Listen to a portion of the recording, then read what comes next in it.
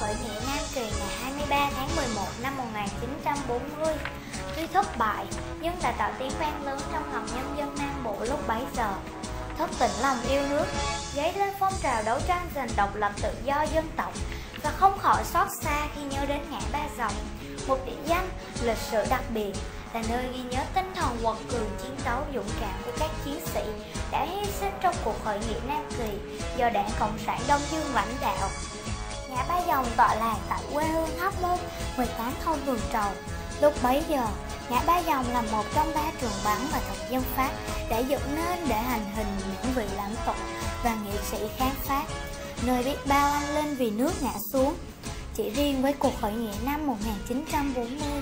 ở đây đã có hơn 900 người bị xử bắn, trong đó các đồng chí Hà Huy Tập, Nguyễn Văn Cừ, Võ Văn Tần, Nguyễn Thị Minh Khai, Phan Đăng Lưu, Đỗ Văn Dạy, Đặng Công Bỉnh, Nguyễn Thị Thử, Phạm Văn Sáng đã anh dũng hy sinh. Cũng trong cuộc khởi nghĩa này, hình ảnh lá cờ đỏ sao vàng lần đầu tiên xuất hiện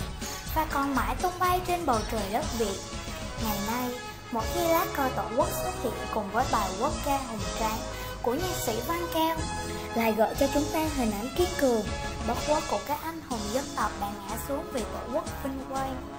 Là mầm non của đất nước, những người đội viên như chúng em sẽ mãi vươn cao ngọn cờ và tiếp bước truyền thống anh hùng của dân tộc Việt Nam.